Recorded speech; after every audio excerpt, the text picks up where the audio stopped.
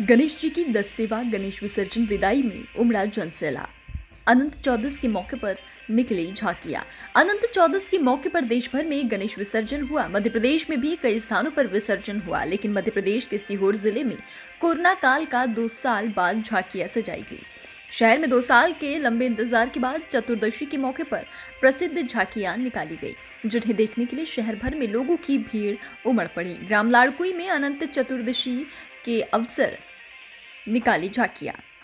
सांस्कृतिक व धार्मिक भवनों पर बालक बालिकाओं ने दी प्रस्तुति। नगर सहित क्षेत्र में कई स्थानों पर अनंत चतुर्दशी पर झांकियाँ निकाली जाती है, जिसको लेकर ग्रामीण क्षेत्रों में जहाँ ग्रामीण में उत्साह देखा गया, वहीं नगर क्षेत्र के ग्राम लाड़कुई में करीब आधा दर्जन स्थानों पर श्री गणेश की स्थापना की गई थी।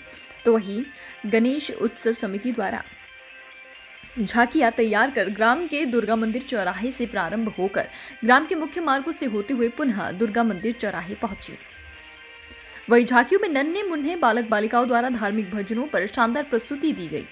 इसके उपरांत ग्राम पंचायत व उप सरपंच प्रतिनिधि द्वारा उत्सव समिति के साथ बालक बालिकाओं को पुरस्कृत किया गया, साथ ही सुरक्षा की दृष्टि से भारी संख्या में पुलिस बल भी तैनात रहा।